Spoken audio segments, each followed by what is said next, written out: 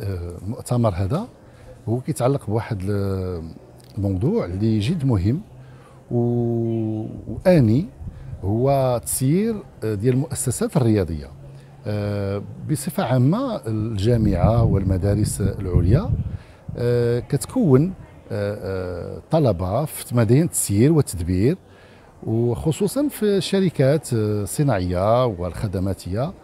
ولكن إحنا ارتأينا أن هذا التسيير وهذا المجال هذا ديال المانجمنت لابد أنه يفيد يعني المؤسسات الرياضية خصوصا أن حاليا كاين واحد انتقال من آه، آه، فكر ديال الجمعوي إلى فكر شركة. فالآن هذه المؤسسات الرياضية خصوصا في كرة القدم فغتصبح شركة. فبالتالي غادي تكون كتسير بمعايير آه، دولية إلى آخره. فلا بد أن الجامعة تنفتح على محيطها.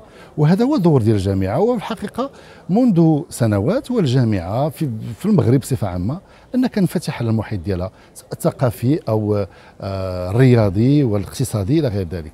فكان الهدف من هذا المؤتمر هو أننا نكسروا ذاك الحاجز ما بين قلت الجامعة والمحيط ديالها. يعني هو دائما منفتح ولكن حنا بغينا نزيدوا نوطدوا العلاقة مع الشركاء ديالنا سوسيو اقتصاديين.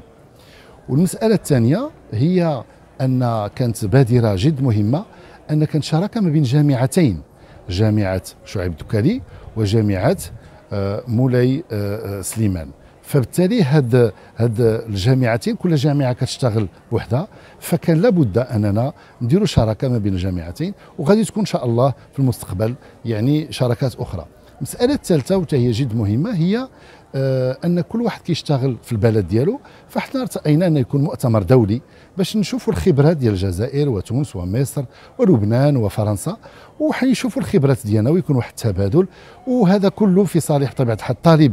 في المسابقة الأولى وكذلك شركائنا اللي هما آه، المؤسسات الرياضية حتى هما حضروا معنا وشرفونا ومشكورين هاد هادو كاملين. فكان واحد النقاش مهم بزاف والخلاصة هي أن آه، الجامعة ما تشتغلش بوحدها وكذلك الجامعات ما يشتغلوش بوحدهم ويكونوا الأساتذة الباحثين يتعاونوا وعطاو واحد الفكرة ان أن التسيير الرياضي حاليا فهو ولا اذا بغيتي مستوى يكون عالي فلا بد التسيير خاصو يواكب هذا التسيير. إذا كانوا اللعابة محترفين إذا كان أن الجامعة تشتغل يعني بجدة وشفنا النتائج سواء في كرة القدم أو في كرة الطائرة وكره اليد وكذلك ألعاب القوى وكذلك ذوي الاحتياجات الخاصة اللي شرفونا حتى هما. ف لابد أن الجامعة تواكبهم وخاصهم حتى هما يفهموا بأن راه التسيير راه هو تطور وخاصهم يكون واحد آه هذا التبادل هذا هو اللي في صالح كي تنقولوا رابح رابح وشكرا.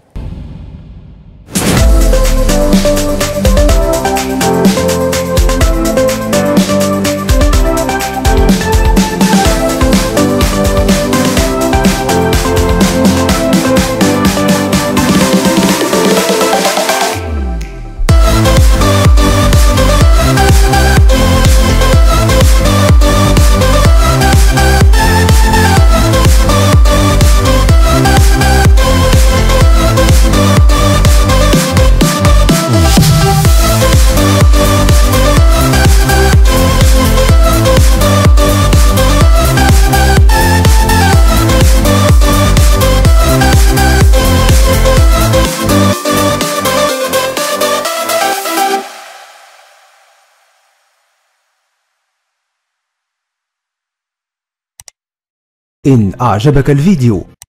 لا تنسى الإعجاب والاشتراك في القناة.